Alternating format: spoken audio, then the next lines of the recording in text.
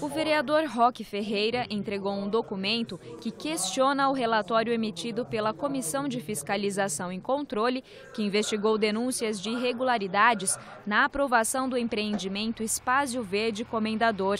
Como o Nesp Notícias mostrou no ano passado, o pecuarista José Amir Mobaide reuniu os vereadores para denunciar que o repasse de áreas institucionais para a prefeitura estava sendo feito de forma prejudicial ao município.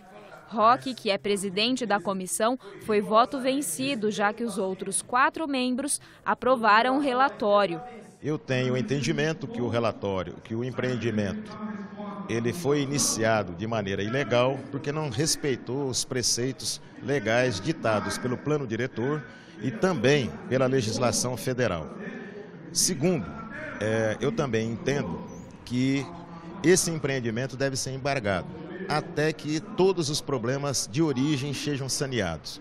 E a maneira de sanear esse problema é o empreendedor depositando nas contas do Fundo Municipal de Habitação o valor original em que foi avaliada a área institucional, que gira em torno de 840 mil reais, devidamente corrigido né, a partir da data em que foi dada a autorização para o empreendimento. O relatório que fiz é a expressão daquilo que eu vislumbrei.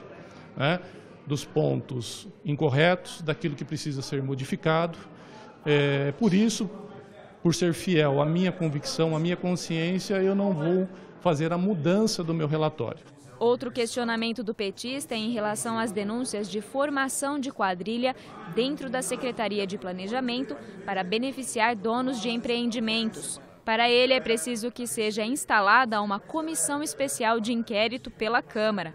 Esse fato é grave, porque coloca sob suspeição uma secretaria que é uma das mais importantes do município e também todo o conjunto de servidores públicos que lá atuam.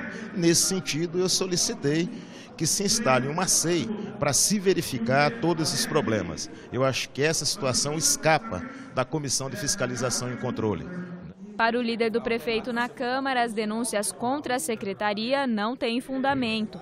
Não ficou provado dentro dos autos da nossa investigação qualquer tipo é, de indício de que haja formação de quadrilha ou qualquer outra coisa que foi falada na comissão. Muito pelo contrário, tudo aquilo que foi ventilado no momento das oitivas na comissão não foi confirmado. E veja, a Câmara e as comissões da Câmara não podem se mover é, por falácias, enfim, por coisas jogadas ao vento. Nós temos um trabalho sério que tem que se pautar por evidências claras e não ficou em nenhum momento evidenciado que há qualquer tipo de quadrilha instaurada. Não, na verdade foi uma falha de procedimento que vai ser corrigida daqui para frente. Um outro assunto que voltou à tribuna foi a saúde pública. O vereador doutor Raul Gonçalves trouxe reclamações de falta de atendimento à população durante os dias de carnaval.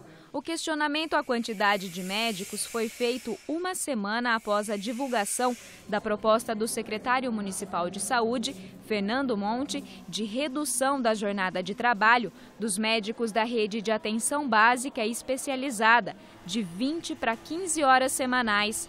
Para Dr. Raul, seria necessária uma discussão mais aprofundada sobre a qualidade do atendimento prestado.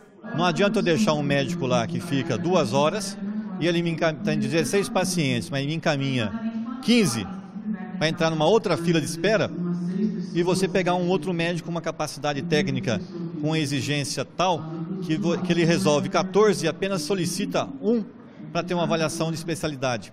Então, nós temos que buscar esse tipo de resolutividade no sistema.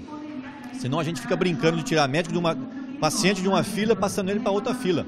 Lima Júnior concorda que o tema precisa ser discutido, mas considera a proposta de redução de carga horária contraditória. Hoje a prefeitura não tem capacidade de contratar.